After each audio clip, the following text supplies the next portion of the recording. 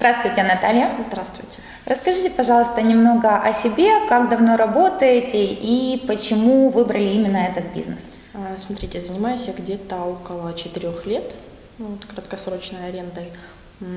Выбрала, честно говоря, абсолютно, скажем так, случайно. А, вот я вышла из декрета, э, и несколько моих знакомых занимались вот подобной сферой деятельности. А, и, скажем так, ну, я не консультировалась у них там, да, просто смотрела на них со стороны, наблюдала, мне было достаточно интересно. Э, вот, и ну, я решила попробовать сама эту сферу, плюс учитывая то, что образование у меня как бы, ну, профильное, э, вот, то есть я администратор гостиницы, то мне показалось, что это, скажем так, максимально приближенная сфера деятельности. Ну, конечно, первый опыт был достаточно сложный, первая квартира, первые клиенты. Меня это не испугало, я дальше продолжила. Какие требования вы ставите к квартирам, с которыми работаете?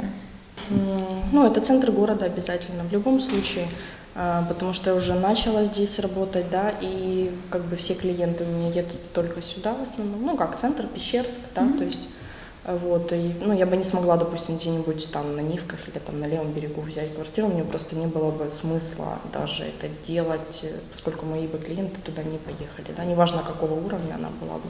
Вот. Второй момент – это размер квартиры. Но практически нет маленьких квартир, потому что у меня акцент идет на том, что э, несколько раздельных спален. Mm-hmm. И, соответственно, ну, многие клиенты вот, э, уже сориентированы на то, что они едут там, допустим, в командировку, там их три человека или четыре человека, вот как здесь, четыре отдельных спальни, да, и они могут спокойно, каждый в отдельной комнате разместиться, чтобы всем было комфортно и так далее. Да? То есть это, скажем, такой, э, ну, плюс уровень да, квартиры, то есть она должна быть там, с качественным ремонтом и так далее, с хорошей сантехникой, кондиционеры обязательно, все-все-все. То есть вот человек, как бы, он привыкший к определенному уровню, да, но он едет, допустим, не один там, а с друзьями, да, там, два, три, четыре, да, вот, и они все хотят комфорта, но э, в то же время они хотят все быть в одном помещении и не платить там по 500 долларов за номер. Там. Соответственно, они выбирают вот такой вариант, там, где, ну, мож, возможно, уборка каждый день, замена полотенец, замена постельного белья, э, квартиры тоже обслуживают прачечная. Такие клиенты обычно достаточно требовательны. Как вы обеспечиваете э, высокий сервис для них? На самом деле это, скажем так, достаточно проблематично, да, потому что мы все-таки не отель, а отдельные квартиры.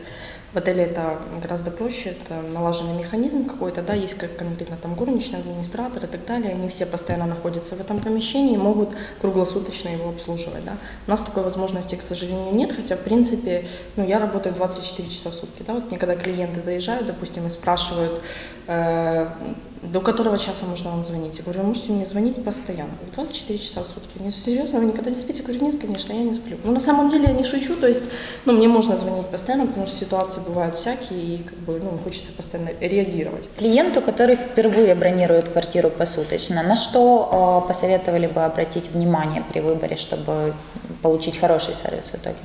Надо обратить внимание на соотношение цены и качества. Да? Mm-hmm. То есть если квартира стоит там, 500 гривен, а это четырехкомнатная квартира в центре города с хорошим ремонтом, ну этого априори не может быть просто. Да?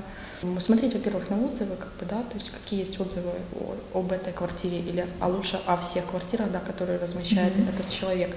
А, вот это, наверное, самый, ну, один из самых лучших э, способов, э, скажем так, удостовериться в том, да, что эта квартира будет соответствовать вот, и что вы едете к нормальному человеку, у вас все будет там работать, и горячая вода, и Wi-Fi. Тоже обратить внимание на саму рекламу, на качество рекламы, да, то есть если это висит дорогая реклама, да, там, допустим, я не беру только систему бронирования, да, допустим, человек публикует еще где-то в журналах, там, да, точно так же в интернете, там, дополнительно. Uh-huh. То есть если много качественной, хорошей, дорогой рекламы, то значит человек понимает, ну, зачем он вкладывает эти деньги. Как получить хорошие отзывы от клиентов? быть максимально э, клиентоориентированным, да, то есть э, быстро отвечать на какие-то там моменты, которые человеку могут не понравиться, предупредить проблему до ее начала.